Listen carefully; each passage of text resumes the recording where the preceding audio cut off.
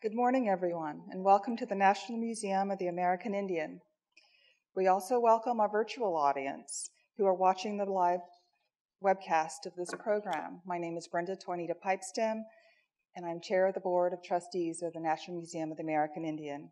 I'm also honored today to serve as your chair of this symposium Strong Women, Strong Nations, Native Women in Leadership. We will open our day with a traditional song provided by Deborah Parker, a member of the Tulalip tribes. However, before our formal program begins, if you have a cell excuse me, if you have a cell phone, please silence it as the webcast is live. Deborah?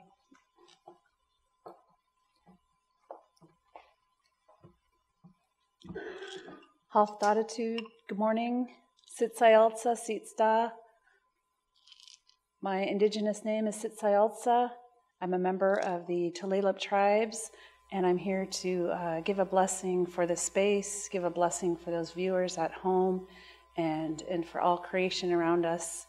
Uh, I offer up this song. Uh, it came to came to me about a month ago um, when I was in prayer, and this song is in honor of really each and every one of you in your spirit that you carry, um, but very specifically for the missing and murdered Indigenous women. So if you'd all please stand.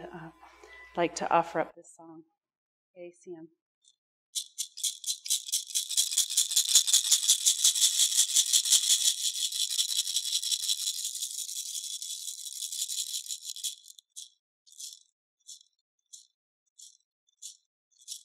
Yeah, yeah, yeah,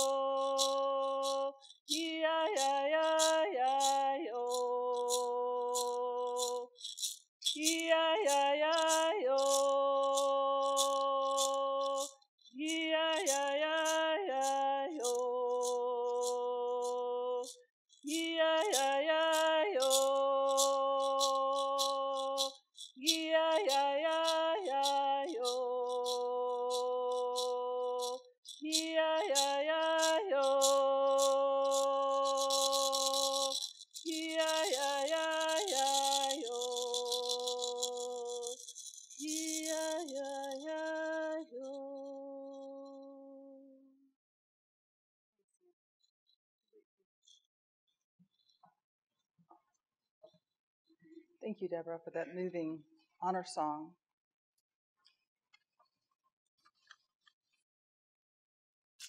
We are thrilled to be hosting today's symposium, Strong Women, Strong Nations, Native American Women in Leadership. It took a substantial commitment of time, resources, and energy from the NMAI staff to bring together Native women throughout the United States and Canada. I am thankful to NMAI leadership and staff for their commitment to bringing us together for this important event. We thank you for joining us today and being a part of this event, either in person or in our webcast, as we engage our panelists and learn from their experiences, their insights, and wisdom.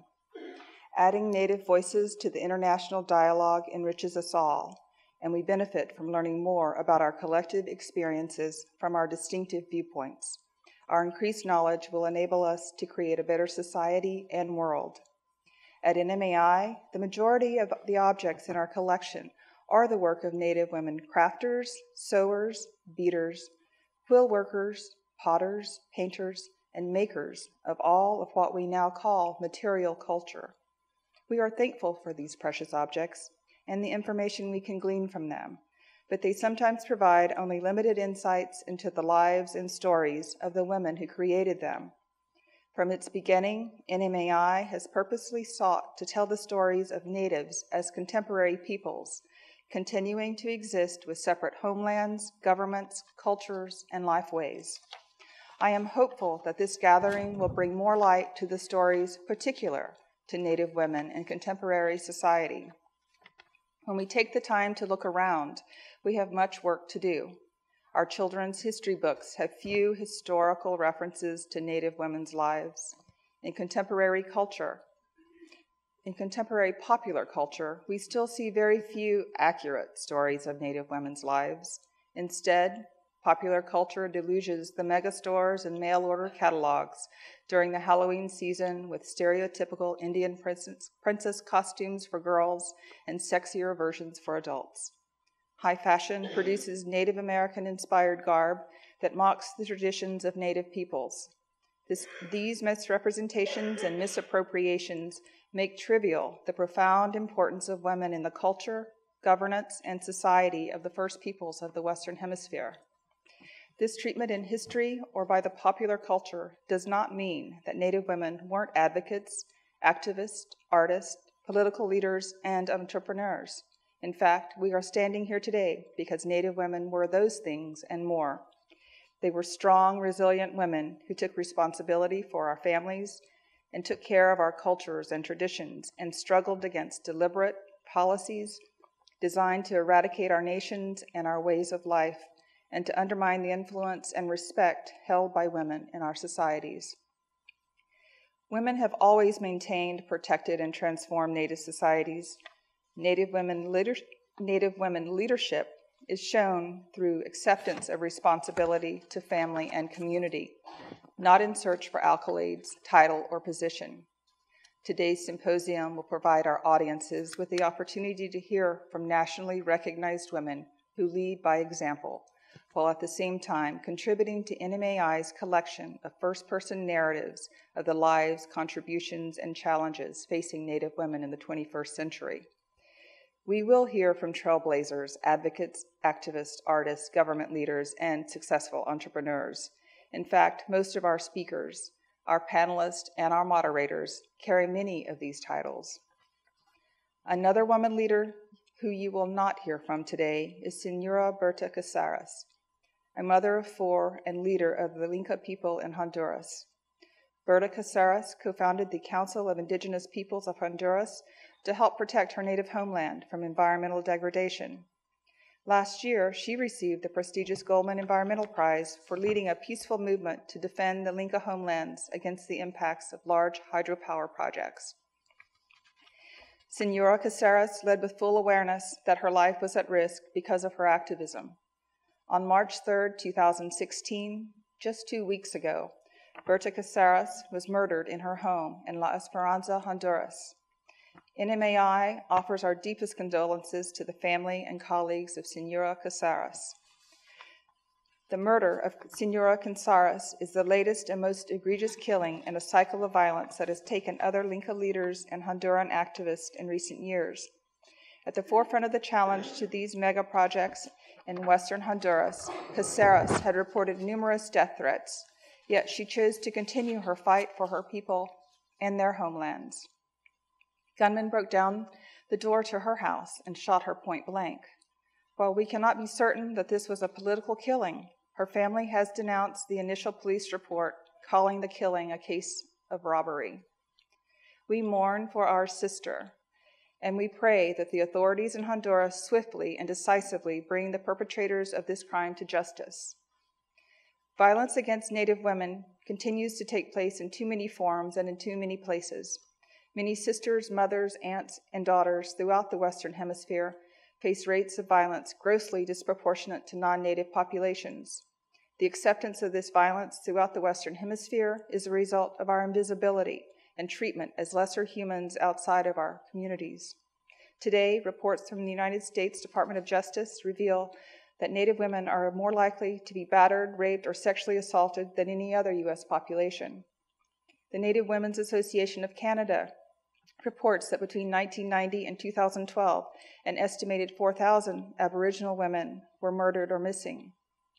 We are encouraged by the Canadian government's national inquiry into murder and missing Aboriginal women, and we encourage other governments in the Western Hemisphere and the media to dedicate sufficient resources and attention to this crisis. In the United States, through smart and relentless advocacy, we have seen incremental positive changes at the federal and tribal levels that recognize that the sovereignty of our tribal nations is a solution to the violence against Native women, not a problem. And this positive legal and policy change gives us hope for the future for ourselves, our daughters, and our granddaughters.